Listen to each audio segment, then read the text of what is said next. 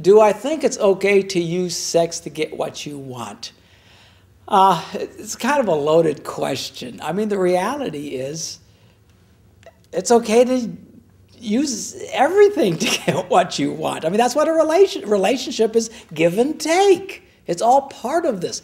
If, if you think that you can have a relationship where um, there's automatic giving without anybody investing anything, uh, you're living in a fantasy world. A lot of guys are like that. They, they treat their wives horribly, they ignore them constantly, they never talk to them, and then they wonder, well, how come I ain't getting any sex? Well, because you're a dope. That's why. You, you, there's always something somewhere where there's a trade off in relationships. Somehow, when there's this trade off concept, people feel that it's being polluted. Women primarily think that's polluting it.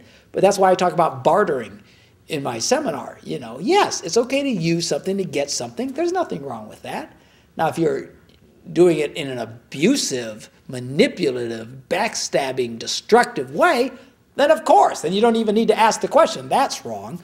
But don't think it's weird to use things to get things. This is, this is a healthy thing.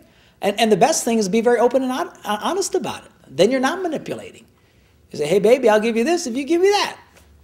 You know, whatever the deal is, then, then there's no manipulation, there's no dishonesty involved.